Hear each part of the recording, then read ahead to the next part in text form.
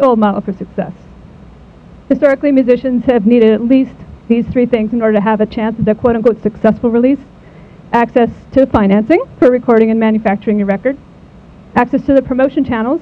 Um, commercial radio is particularly good at actually helping sell, sell records, at least in the old model of success. Um, and then access to distribution, which meant the, the ways that you could get your music into retail stores and in front of potential consumers. There was really only one way you could do that prior to sort of the development of the internet uh, models, which was assigning a major label contract. And the um, and th this would give you access to the label's PR and distribution machinery. Uh, but the trade-off was that almost always you had to sign away your copyrights. Of course, there were always a lot of independent artists that worked outside of the system, and there's actually a very functional independent music community. But um, you know, you had limited resources, and you were sort of stuck at a certain level of um, access because you couldn't get play on commercial radio or anything without um, having a major label relationship. But technology has changed a lot of stuff. Better consumer technologies, uh, GarageBand and uh, Logics and all these, all these uh, software packages make it possible for artists to pay less to actually have, uh, do some recording. Uh, it's still really hard to get on commercial radio, but now there's thousands of other ways you can access promotional channels, many of them free. Internet, satellite radio, social networks, blogs, YouTube. Most of them you can almost access without paying anything. Then there's universal access to distribution. There's a very low barrier to entry. It's almost, you know, between 30 and 100 bucks you can have your stuff distributed to all of the major online uh, digital music stores and subscription services, not only in the United States, but the, ma the major ones around the world.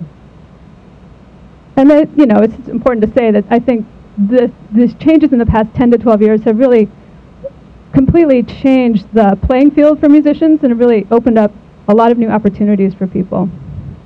So we're just going to run through buckets of new ways for people to access music and correspondingly how artists are compensated through all these different models. Digital stores, on-demand playback services, subscription services, um, some new artist fan connections, some new patronage models, which I think are particularly interesting for this community, and also some webcasting and satellite radio.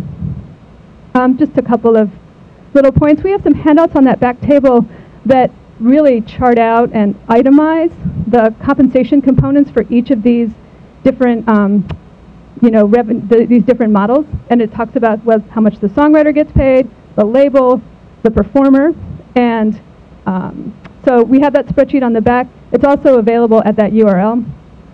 There's also a worksheet back there about how you actually get your music from, you know, from your home studio into all of these music services using one of the digital aggregators such as TuneCore or CD Baby or Reverb Nation and um, the way that your, art, your music gets into the services and how much how the money how the money comes back to you and how much it costs to actually use those services.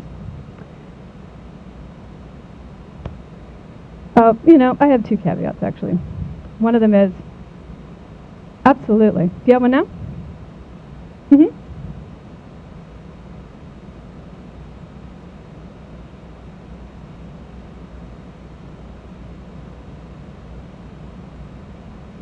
Sure. Yeah. Yes, I will. So her question is, is there a better success rate in actually using these services to get the money back to you? And I would say yes. Um, we use, uh, I ran a record label in the 90s, and um, the, our, not only was my band on the label, we represented a bunch of other bands. And we use IODA to um, have our stuff available on iTunes and Rhapsody and everything. And it's very transparent. I know exactly when it's coming. It comes every month. Um, with CD Baby, the money comes every Monday if you're selling stuff. And everything has gotten, I think, much more transparent. And Ethan, I would ask you if you think the same thing too if things have seem more transparent and more reliable because the old version of distributing stuff meant you um, waited 90 days and you possibly got paid and uh, you hoped you got paid and then if not you had to make a lot of phone calls to get paid and things like that. So, um, so just to be clear, this is um, this. The rest of these slides are mostly about. Um, there's lots of great ways you can promote music on the internet now, but this is all about um, services and models that have some compensation component to it. So you'll see some stuff like, why isn't she talking about Facebook? It's like, that's just about promotion, and we can talk about that in other panels today. Um, and the second thing is that um, we should put this in perspective. It's um, unlikely that any of these new services will take the place of the revenue that's generated from traditional CD sales or money from playing shows. But they do offer musicians and music fans a huge range of options, some of them that even feel free to the consumer, but are actually compensating artists.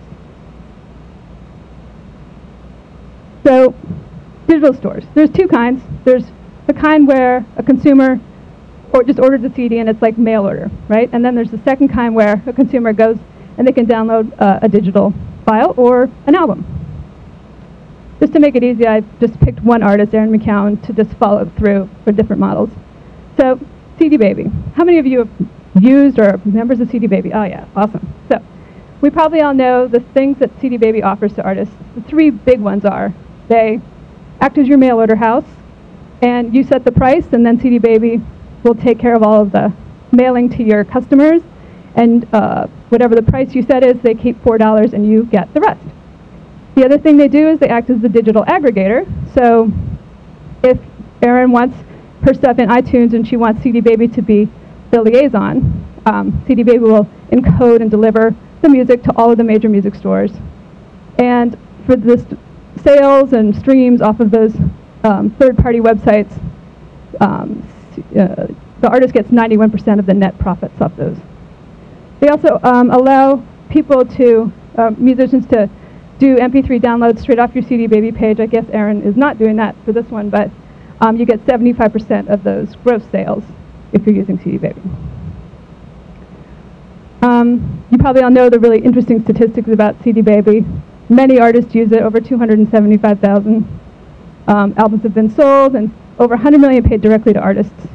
And, you know, given the limited options that musicians had even 10 years ago, it's easy to see how CD Baby's model, like embracing simplicity and transparency, um, has really been important for the music community, and I think replicated in other models as, we've, as things have developed. We sort of keep referencing that simplicity and transparency are important parts of this developing um, business model. So here's the same album on iTunes. I don't know how she got it there, but if she was using CD Baby, she'd get 91% of, of any sale. If she's using TuneCore, she'd get 100% of the net profits from the sale of a single download or an album. Same record on Amazon. Um, Amazon, you know, sometimes the prices are a little bit different, but they again offer downloads as MP3s, which is good because then it can be played on any players or computers.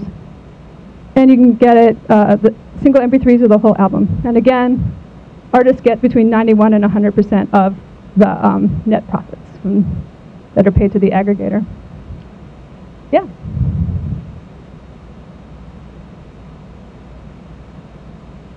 On Amazon, I think so, yeah. Yeah. Um, so I just wanted to show you an interesting widget. There's um, a band in Chicago called the Layaways, and over there in the corner, they have an Amazon MP3, um, what do they call those things? Like a, a widget embedded to drive traffic to their songs on Amazon. And they signed up for Amazon's referral program, so they get a small fee for any click-throughs that come from their website to Amazon. And um, David Harrell from the band said, that that money comes to them directly from Amazon. It doesn't go through the aggregator. And it may not be much, but it's nice to know that there's a little widget you can put on your website to push people to your songs on Amazon that actually has a little compensation part to it. So we'll move on to subscription services. There's, um, in the US, there's a handful. The three ones that people um, are most familiar with are Rhapsody and Napster and Mog. And the consumer pays from 5 to $12 a month for access to these enormous catalogs of music, sometimes millions of songs, and it's part of your monthly fee, you get to access everything. So here's Erin's album on Rhapsody, and there's a number of things as a consumer I could go and do. I could listen to the whole album, or I could listen to particular songs, or I could put together a playlist of things that include her music, or I could um, listen to Erin McKeown radio, or I could download and purchase an MP3. And the other thing Rhapsody has done, um, they have an, a little Ibiza player, which is kind of like their version of an iPod, and um, you can put you can load it up, so it's like Rhapsody on the go. And well, the interesting thing about it is that as you um, put your music on, it recognizes what you got what you got on your Ibiza. Then when you go and you're doing your lap, you're you know jogging on your treadmill, and you come back and you resynchronize the Ibiza player with your Rhapsody account, it recognizes what you played and counts those plays towards the music, the, the musician's like sort of total count for the month, which is different than iPods because iPods just don't do that. Um, Rhapsody uh, has iPhone apps now, right? so you can stream all your music on your Rhapsody account through your phone. Here's the same record on eMusic, and eMusic is slightly different. It's not um, a music subscription service like I'm streaming everything I want. It's a subscription download service. So it's kind of like the buffet version. I'll pay $13 a month and I'll get 40 songs or something. So the, us, the, the consumer is purchasing MP3s in bulk quantity sometimes for people who are really interested in having a fairly large music collection. So um, for the artists, yeah.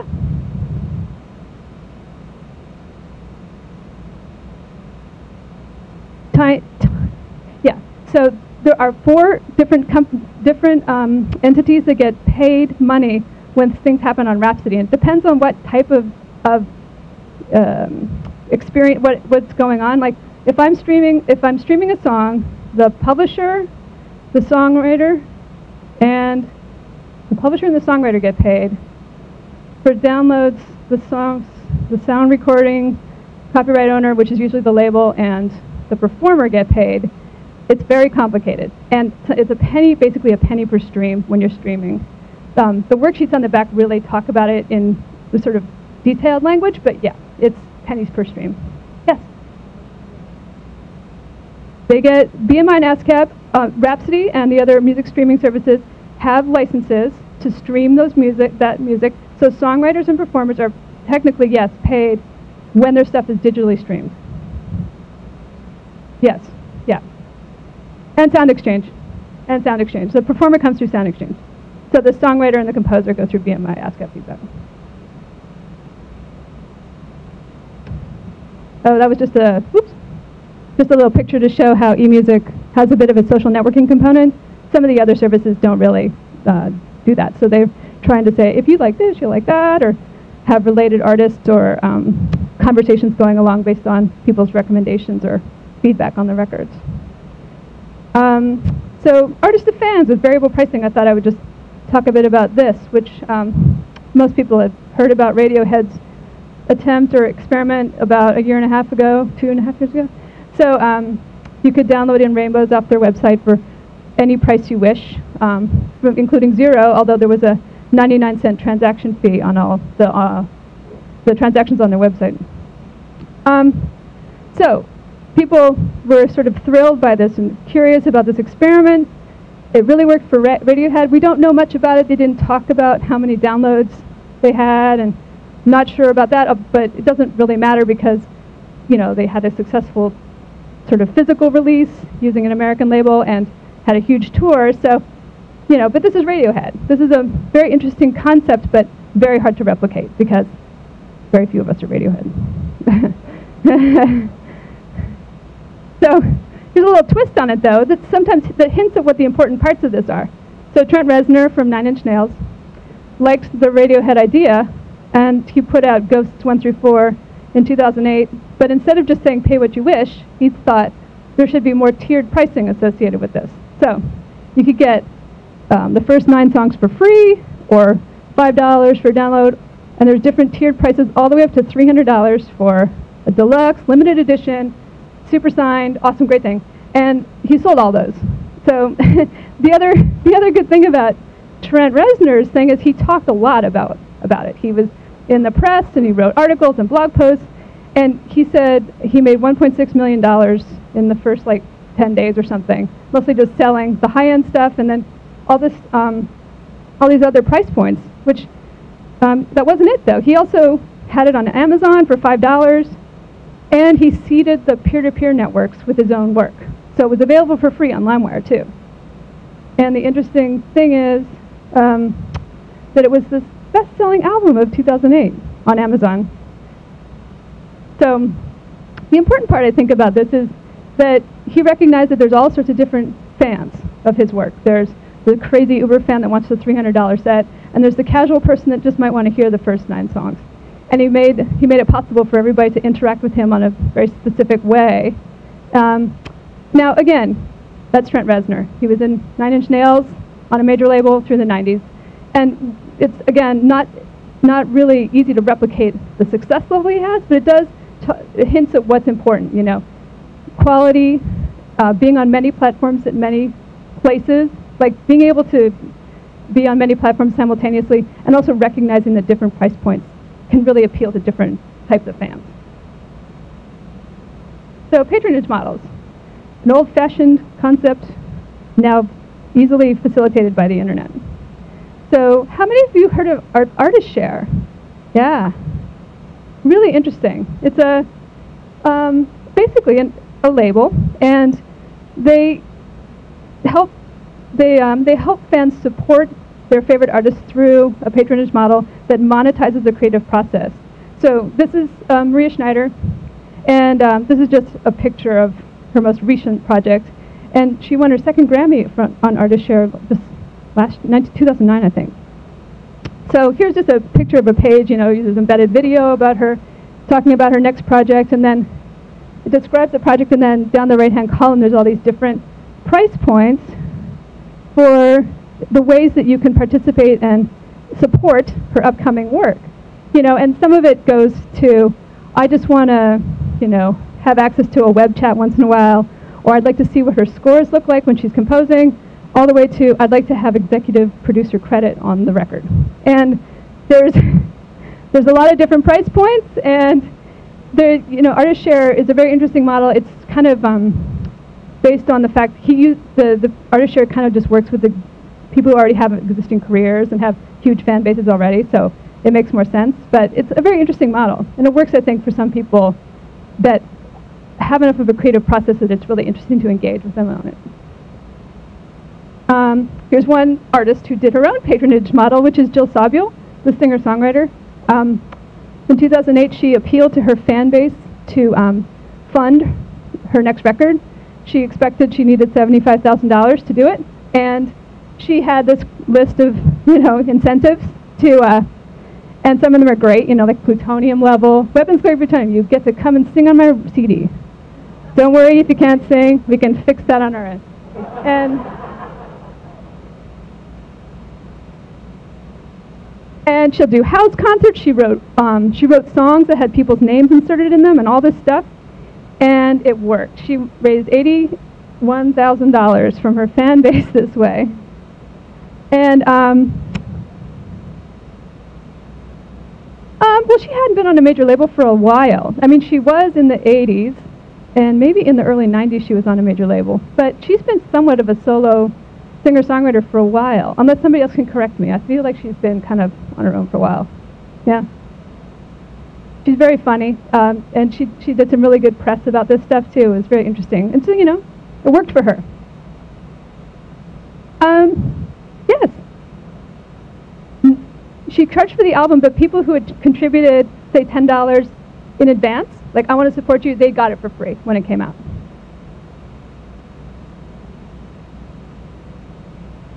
Thanks. So uh, Kickstarter. This is a really interesting way to fund your work. Um, it basically, it's allowing filmmakers, musicians, designers, even kind of people who want to do a trip around the world on, this, on the sailboat, fund their work. Um, it's an all or nothing um, funding method, so projects must be fully funded uh, or, the, or no money changes hands. So if you need $20,000, and you start appealing to your musician base, but you only get 14,000, the money gets refunded back to the patrons because if you can't meet your target by the certain deadline, then the money just reverts back to everybody. And but you do get to keep 100% ownership of your work. And at this point, I think Kickstarter is still free to use, although your project has to be somewhat um, approved by Kickstarter in order for it to be part of their system. And just show you a little project page. This is a band from Oakland. Do people know this? It's not a band. It's a pro uh. It's a sound project, I guess I should say. So they're trying to get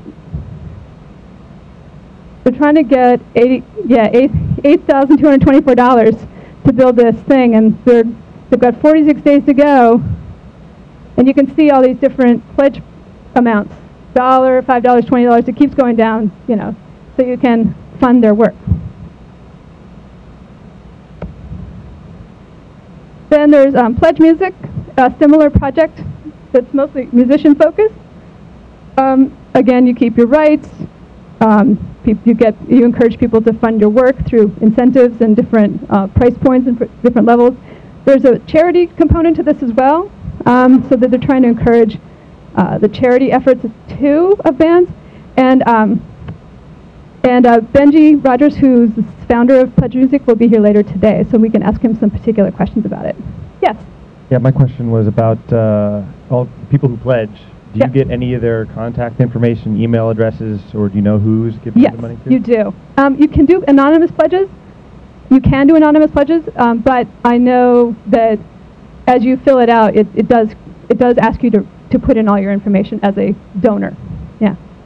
Is there a component for trying to get people to back your to promote the, that you've got your service on a pledge music or something like that so you can get people to yes. pledge?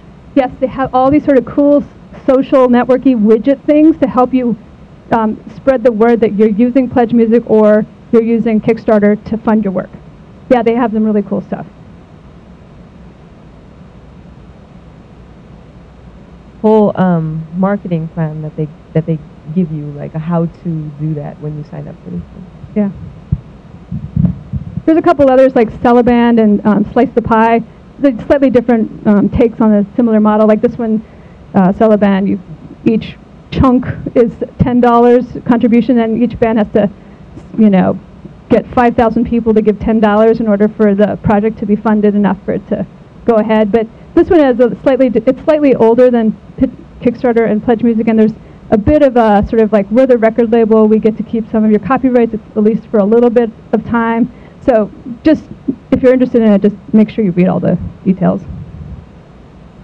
Um, so licensing, we're going to have a whole conversation about licensing later today. Um, this is, um, I just wanted to show you a couple of sort of models that are trying to facilitate the licensing process, but we can talk about the pros and cons of this version of licensing when we have a conversation later today. So um, this is kind of licensing, like putting your, your music gets licensed for an ad or a TV show or um, hold music at your dentist's office, whatever it is. Um, it's an interesting revenue stream because um, for musicians and songwriters, um, because not only is there a lot of there are opportunities to license music because there's so many things that need music now. Um, there's lots of creative projects and extra TV shows and cable channels. But usually you negotiate uh, a specific fee for the use, but you don't give away any copyrights when it gets licensed. So it's just an ex exclusive or maybe even non-exclusive short-term licensing agreement. But I'll let the lawyers fill me in later on this stuff. Um, this is Rumblefish, which is a B2B music licensing service. Um, if you're using it, um, so here's a licensing form for just a band called True Love Always, and you can see if you go through and you can click off all the different criteria for the license that you want to get. Oh, I want it to be a year, and I'm gonna. This is actually for hold music. Um, the number of systems you have, how telephone on hold music. I want the whole song and all these things. And um, when you hit get the price, it generates a price so that um, the person who wants True Love Always on their hold music can figure out what the price is and actually just sign a licensing agreement right there. And True Love Always would get 50% of the license fee and Rumblefish gets the other 50%. Mm -hmm. Oh, we're just, it's because we're webcasting, we have to keep talking in the mic.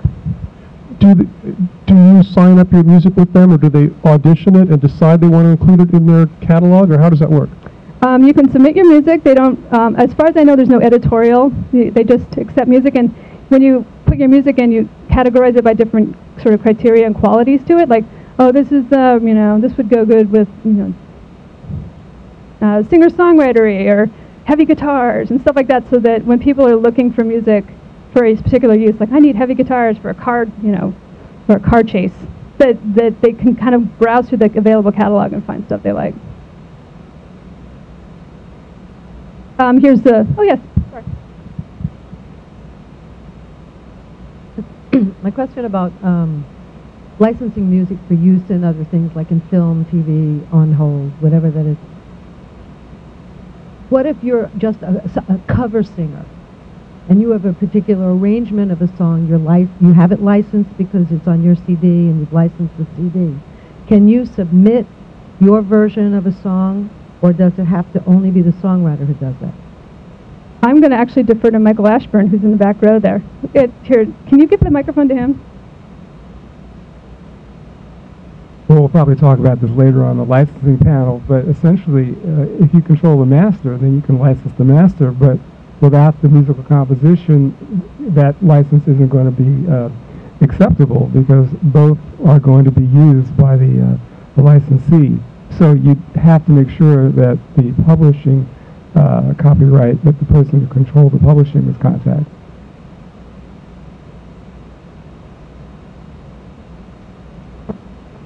Like my albums are 100% cop, um, licensed through Harry Fox agency.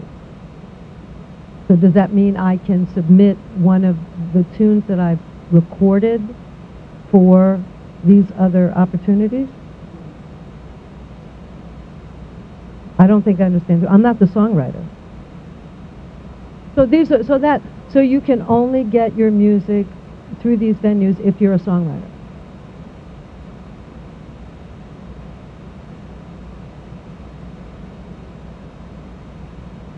Let's wait. Let's wait until this afternoon. We'll go into it more. Yeah, it's true. This is a, definitely a complicated issue, and that's um, kind of why we're doing a panel about licensing, just because it is very particular, and we, you know, we'll have some people like Brooke Wenstrom Rights which Workshop and Michael to really talk about the the details. So yeah, yes. A question on Rumblefish, and probably this one, is when they they pay the artist, is it through BMI or ASCAP? Well, what they would uh, pay you for is if you've got a direct licensing deal, like, oh, hey, say, um, you know, Jaguar decides they want to use your song, then they pay you 50% based on whatever the licensing deal is. But sometimes there's um, performance royalties that are based on the use. You know, ASCAP, BMI, SESAC would pay you if it's, like, say, you're using a movie or whatever. Um, again, this is another thing we'll talk about on the licensing panel, because it is sort of particular. Licensing is very, but, but yes, if it's a public performance, there is a performance royalty for that too. Um, just the last, bit, yeah? Mm. And this probably will be addressed in the breakout Mm-hmm. sessions, but um, I was just thinking, you know, I have music on all these different things, but how do you, it's sort of like once you get them out there, it's sort of like all the other stuff, it, it, it's hard to get anyone to pay attention if you're not famous. Yeah. So Yeah. I guess the question is, it's cool to do all this stuff, but then what I, I have found, and maybe it's just because I don't know a lot about promoting, that it's like sitting out on CD Baby and people get it like in the first week I have it out and then no one looks at it ever Yeah. again. So it's like how do you keep that Yeah. how do you keep that stuff fresh and how do you get it to the attention of like um, you know TV shows and stuff because mostly they're taking people who you already have heard of, not it seems like I don't know. Yeah. So Um, I don't know. I, again, it seems like you're right. We'll probably talk a bit about licensing, but also the social networking breakout today. We'll talk about the things you can do to try to um, encourage people to sort of keep the keep keep the attention on your work. And I'm not saying it's easy or you know, not time consuming. It probably is. So so uh, you know these, all these things have pros and cons to them. Um, and also we'll talk to Erica a bit about how you do it also. Um, so uh, just the last little bit is the webcasting and satellite radio. Um, so I just picked KEXP in Seattle as uh, just a model. You know, it's a terrestrial station in Seattle, but they um, webcast and they have been for a long time. They have um, sort of live updated playlists, so you know what's being played as of right now. There's buy buttons next to their um, every song, and so it connects you to iTunes or Amazon or local radio or local record shops.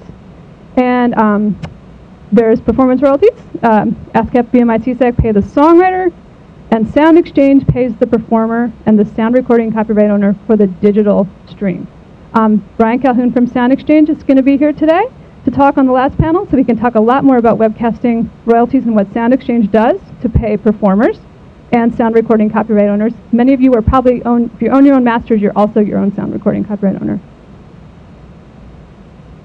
um, Counterstream Radio, American Music um, Center's uh, online webcast, which is doesn't have a terrestrial radio station component. It's just online, but it's streaming music, and so they pay ASCAP BMI SESAC, and they pay Sound Exchange. So the performer and the co composer are compensated when people listen to their music. Um, Pandora, yay, Pandora. Um, re regional favorites, and um, you know, they're it's a site that facilitates personalized music discovery, and if so, if you pop in the name of a band and it starts to build um, a radio station around the attributes of that song, not about the band or the label they're on, but the attributes of the song. Um, for music fans, it feels free, or you can pay $36 a year and have no ads around it. Um, it's a great way to discover new music, and again, songwriters and performers and labels are each paid simultaneously and directly through the performance rights organizations and Sound Exchange.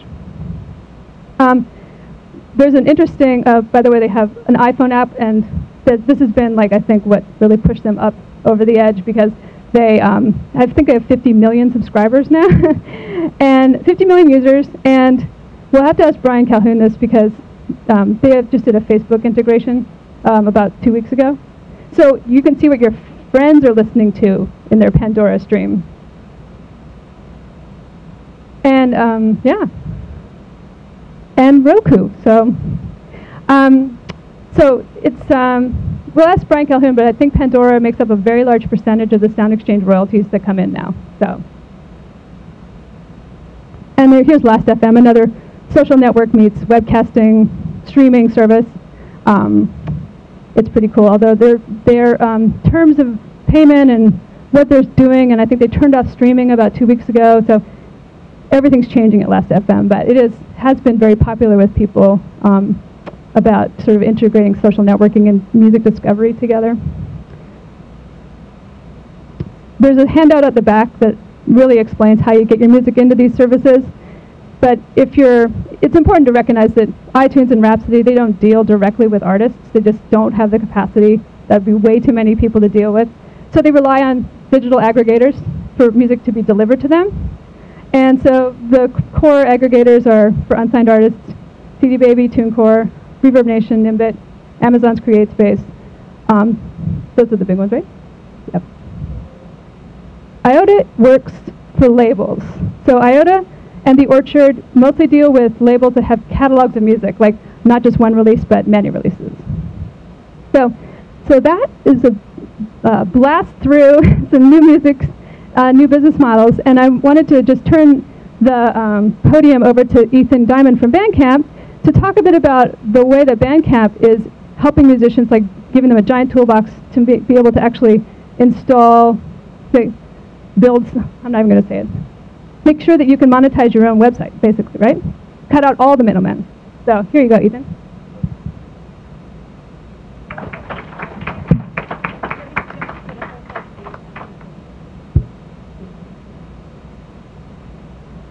Hey, everybody. Uh, sure. Okay, so what we do, um, are you guys, how many people are already familiar with Bandcamp or have a little bit of, okay, looks like a little, maybe a third. Okay, so what we do is um, we provide an e-commerce platform that helps artists uh, sell their music and their merchandise directly to their fans on their own Bandcamp-powered uh, website. Um, as Kristin said, cutting out a lot of uh, the middlemen in the process.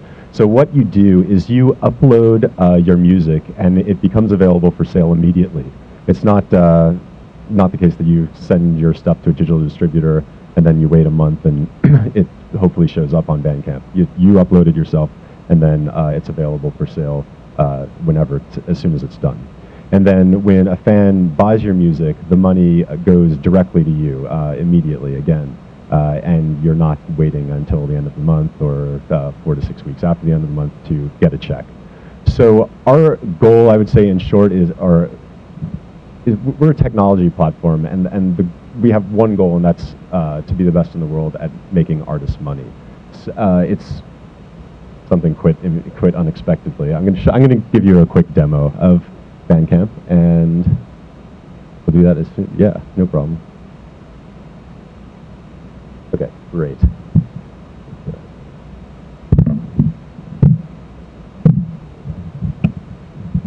Okay, so what you're looking at here is uh, a Bandcamp-powered website for an artist named Sophie Madeleine, and you can see that it's um, it's a super clean, simple design. Uh, this she's got her discography running along the right-hand side, um, big cover art, uh, a custom header of her own design, and then of course you can stream the music and it starts up right away. And then if we scroll down a little bit, there's uh, all of the uh, lyrics and, and liner notes and so on right here. Um, so one thing about this is that it's all structured in a way to be uh, search engine friendly. So um, if you click on, for example, uh, one of the songs here, you can see the um, the URL is structured in a way that it's uh, friendly to search engines. And the result of this kind of structuring, uh, where the website is more like a blog rather than being a typical Flash-based um, uh, artist site that ends up being kind of a black box to Google. Uh, the result is that we get most of our traffic um, from searches, uh, fans looking for your lyrics, uh, your um, your track names, your album names, and so on. We get more traffic from that actually than we even get from from Facebook, for example. Um, so then when uh, somebody wants to download your music, uh, let's see, they just will click on download album here. So the first thing you notice is that we give uh, the fans uh, their choice of what format they want. And the default is a 320K MP3, but um, we also offer a bunch of high quality formats like uh, FLAC, uh, Apple Lossless, Ogg Vorbis and stuff. And most fans just want an MP3. But there's this rabid minority of people out there that want the best quality they can possibly get, and they're often willing to pay a premium for that. And our feeling is that's great. Um, we want to support that, but it's also crazy to expect artists to necessarily know what Ogg Vorbis is, uh, much less create it and maintain it as a format. So, um, so what you do as an artist is you upload uh, a single lossless audio file to us. So you upload, you don't upload MP3s, you upload an AIF, AIFF file or a WAV file or, um, or even a FLAC file, and um, we take care of all that transcoding for you. Okay, so then um, the next thing we offer is total pricing flexibility. So instead of having a store tell you uh, what uh, your pricing uh, is going to be, you can make your music completely free. You can make it free but require an email address. You can offer it for a set price of whatever you want, or you can let fans name their price. And when um, you let fans name their price, the twist is that you can actually set the floor to whatever it is that you want. So um, unlike you know the Radiohead name your price, where uh, you know it can be zero and a lot of people pay zero. If you want, you can just set a floor and say my music is this album is worth at least five dollars. That's the minimum you can pay. But if you want to pay me more, great, do that. And that's what um, is happening here.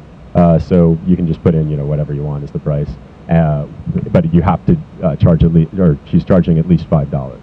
So the result of that um, it turns out to be really interesting uh, across the entire system fans are paying on average 50% more than whatever the artist sets as the floor. And I think that um, the lesson is that when you make it clear that this is a place where uh, artists, uh, sorry, fans can support the artists that they love directly um, and not, not necessarily Steve Jobs, um, then you know they're happy to do that, and they uh, they give you a little bit more money.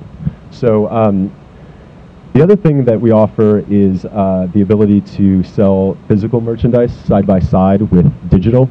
Uh, so you can um, offer things like a limited edition vinyl uh, record or a silkscreen digipack CD, and then when somebody buys that, uh, they they get the digital download immediately, and then uh, they're sent um, you're sent their uh, shipping information, and then they get the physical package afterwards. Yep, go ahead. Sorry. Like, uh, could you have it drive CD Baby distribution? Have it send an email to CD, CD Baby or no? Okay. So we we do. Do you want to actually? Erica uses it. so.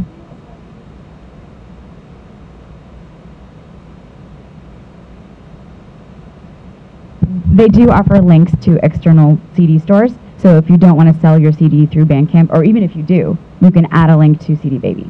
So they can stream it on CD Baby, buy it or stream it on Bandcamp, buy a CD Baby. but in terms of the fulfillment of uh, physical um, goods, we provide an interface um, where you can give a fulfillment partner uh, an account that only has access to your orders and where they can set things set things as shipped or not shipped and get all of those details. And I can show you that uh, a little later in the demo. Um, can you use it to sell uh, videos? For example, if you have a live performance video, um, can, like a DVD, but I know you can do it probably for a physical DVD, but can you do it for like downloadable? Um, right. So with every album that uh, you upload, you can assign arbitrary um, digital goods into it. So you can so that they come down as part of the zip file. So we have artists on the system, for example, selling um, tracks where they've um, included uh, a live video of that track as part of the download, and you can you can do that uh, with anything. People do it with uh, PDF liner notes, uh, booklets like uh, um, sheet music, uh, all sorts of stuff. Yeah, sure. So um, one of the things uh, uh, that kind of drives me crazy about um, buying physical goods online is that you're often, you know, like the uh, this $300 box set uh, that we saw earlier. It's hard to get excited about buying um, those things when you're looking at a 75 pixel, square pixel uh, image of the product that you're um, going to spend all this money on. So we made it really easy for artists to upload high quality art and then um, made it easy for fans to actually, you know, click on that and see what they're getting. So in this case, she's selling this record and uh, a print that she made. And then we also um, handle inventory tracking. And when it gets low, we put up a little warning like this. And uh, then when somebody chooses to buy it, um, we also uh, obviously allow you to specify all the shipping options. And then one thing that we handle in the background that I think is often has in the past been a real pain for artists is we handle the correct um, collecting the correct taxes. So uh, I think the alternative in the past has been um, to go into PayPal, for example, and set up a bunch of different tax profiles. But then you know taxes change, and there are literally you know in California hundreds of different uh, tax rates. So we integrate with a service that basically captures all of that dynamically. So we look at where the fan is buying from and where you're selling from. And if taxes apply, we charge the right taxes, you collect the right taxes, and uh, it's no longer a problem. So then when somebody checks out, uh, their download starts up right away, and then you get an email with um, the details of where to ship to. So um, to your question earlier, uh, you can ship those out yourself, or we provide um, an interface uh, to integrate with a um, with a fulfillment partner. Question So- in the back. Yeah.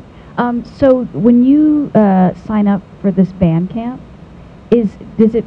So this is like your website now, or, or is this just anything like if you were to have like a MySpace page in addition to your website, or is this like becomes your website? Our goal is uh, to be your website or at, at least a section, the music section of your website. So we provide a couple of things to help with that. Um, first of all, you'll see that you know there's no branding on the page. If you scroll all the way down, we have a little Bandcamp footer along the bottom here. But um, the fact that we're in the URL in this example um, is just because she hasn't customized the URL. You can do that for free, so you can make it music.yourbandname.com um, or store.yourbandname.com. And then the header up here, you can customize that, and um, you can have it match the header for your own website. So if you've got a website in WordPress or anything like that, this is easy to integrate as the uh, as the music section. Right, right. We decided, yeah, and it's not that we want don't ever want to do bio photos sh- like show listings and so on, but we decided we're going to start with um, music first because it's arguably the most important part, and um, technically it was kind of the most challenging, so we decided that's focus on first. Yeah. Oh, ye- yes. Okay, so I have Erica Mulkey sitting here. She's uh, a solo artist that does Unwoman, and the reason I did uh, invite her to be here today is because you're um, you're using Bandcamp as your your music uh, sort of sales point, I guess. But when I looked on her website, I realized she was everywhere. You were on CD Baby and eMusic, and you were tweeting, and you had a Facebook Facebook friends, and so I thought I would ask you um, two things. First, how do you get your music into all the digital music stores? Who is your digital aggregator? And then second, you know, how do you, how does Bandcamp integrate into what you do now? And third, talk about your social networking strategy a little bit. I know we have a whole session about it later, but I want to see how you see it um, affecting your sales. Um, so I, I had a day job up until a few months ago, and uh, for eight years I was doing this solo project. I play cello and sing. Um, I play in other people's bands, and I have CDs that I produce myself. And I was on CD Baby, and um, they did a really great job of taking care of everything for me once I had a CD. Um, you know, they would sell things, they would put it into iTunes. Um, for my latest release, which I quit my job to spend an entire month doing nothing but working on. Um, I felt really proud of it. I knew it was going to be really successful.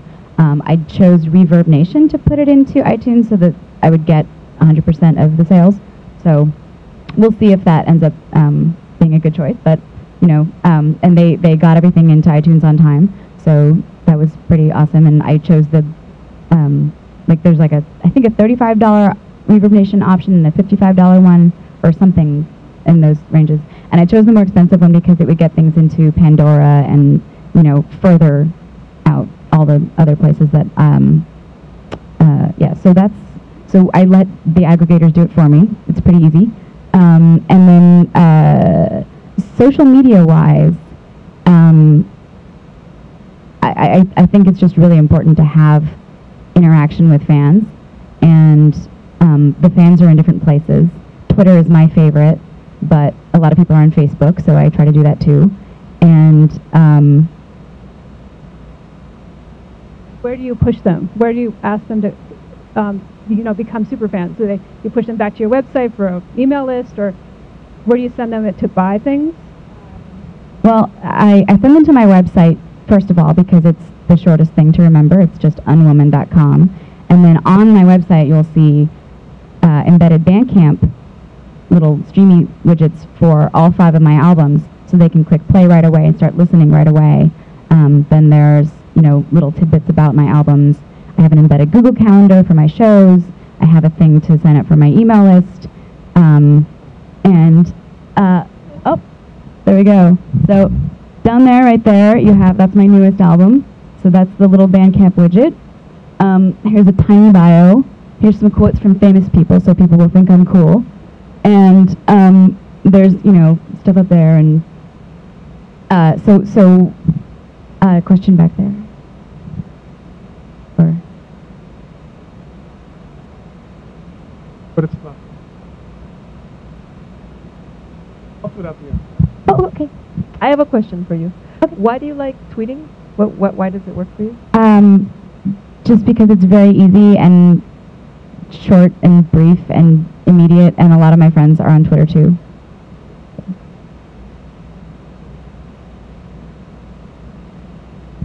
What was your uh, experience, I guess, like, setting up your website? What was your strategy? Like, how, how did you go about getting it? Did you do it yourself? Um, yeah, I made the website myself. Up until a few months ago, it looked really 1994, even though I made it in 2000. And then I tried to make it prettier, but it's really, really simple. And then I have uh, like tons of Web 2.0-ness on the main page. So if you scroll down, you would see embedded Google Calendar and my tweets from the last five tweets or whatever. There's the calendar. Here's that's this the, at the very front. There's a YouTube video of a live performance. So it's just um, I don't know. Okay, what the header is, it looks like it's misspelled, but actually, if you're a little bit creative, it's actually an ambigram. So, so it looks like it says unwoman, but it's actually um, unwoman upside down. If you if you look at the N as an A, you'll see. It takes I don't know. Maybe maybe some people will always think it's misspelled, but it's on purpose. What did you use to? Is it a, is this WordPress? What are we looking at? Um, no, it's just HTML. All custom that you did. Yeah. Um, So. Oh. It is. Um, my question is, you're using Twitter. What age demographic are you in? that's hard to say. Uh, most of my friends are around 30, and and a lot of my fans are a lot younger. Thank you. So since you're implementing all of this stuff, I'm just curious to know how's it going? Are you generating income because of all of this? Yeah, um, that's a very good question, actually. Um, right before I quit my day job, I had a Kickstarter going to fund the pressing of my album. So, and I, I made that. Um, I made a little over $2,500 on Kickstarter.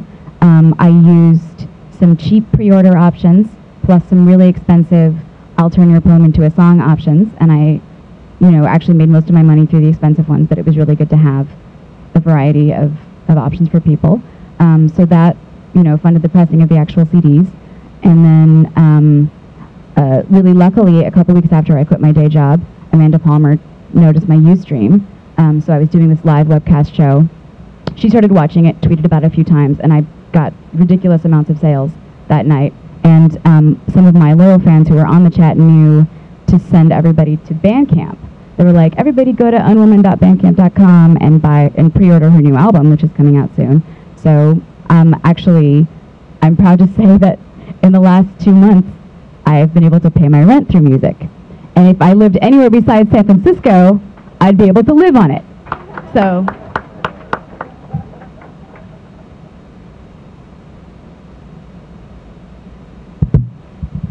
What is the bullet? What is that uh, on Oh, yes. table? So that's a really good question. Um, I sell some weird things on my Bandcamp as physical releases. Um, I had for a while, and I'm almost out now. I had some antique keys that were going with my release the keys, um, and this is a bullet-shaped, unwoman branded USB drive that has my entire catalog on it. And um, I'm selling, yeah, yeah, yeah.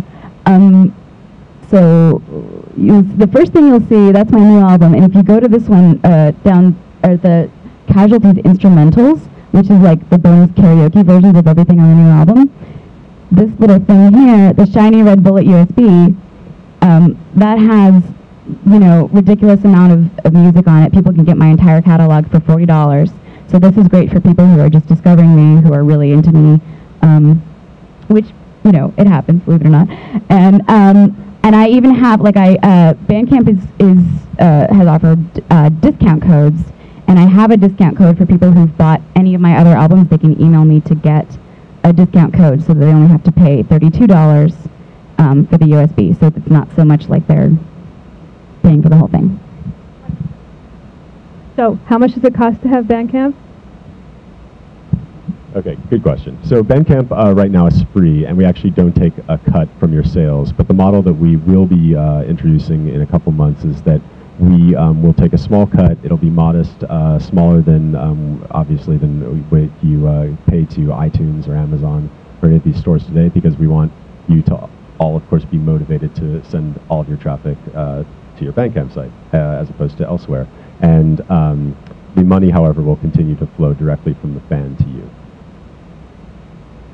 Um, this question is actually for Ethan, and I am not an artist, but I work with many artists, so I have to log into Bandcamp and see all of the metrics, which is great.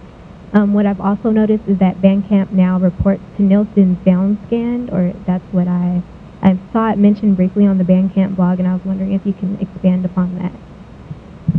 Yeah, if you um, if you include your UPC and ISRC codes, uh, we report your sales to uh, to SoundScan uh, every Monday, I believe.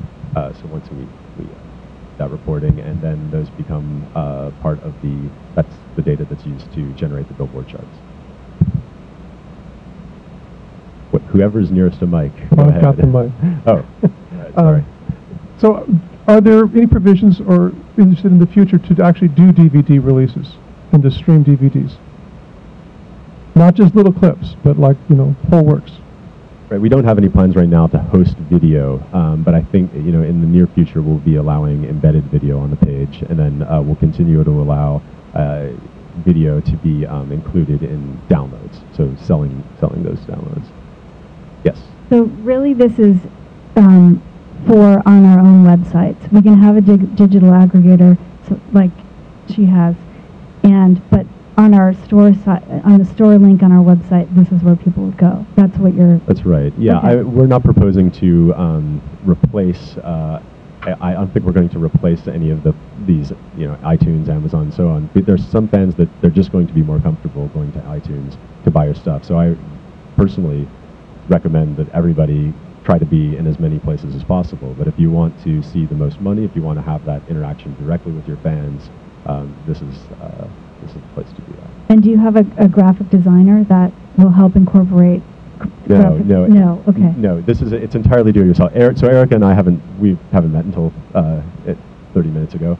Um, so the the it, it's entirely a self-service system. So you upload cover art, you upload a header, you can change the background design. Um, we provide uh, enough customization that you can make it your own, but we try to also have some limits in place so that it doesn't have s- end up having some of the problems you know that I think all of us are familiar with from MySpace. Wrap it up. We have time for one more question. We have time for one more question. Okay. Um, this is just a sort of mechanical question. Do you guys, so you, you collect money, do you handle the tax reporting? You mentioned that? Or do we, we receive the money and have to fill out our own resale tax forms? Right, we don't touch the money at all right now. So the money goes from the fan directly to the artist via PayPal, and the money, uh, for example, if taxes are charged, so you're selling a physical release in state, and you- uh, taxes are collected, that that money does go directly to you, but it's all broken down, very easy reporting. report. Yeah.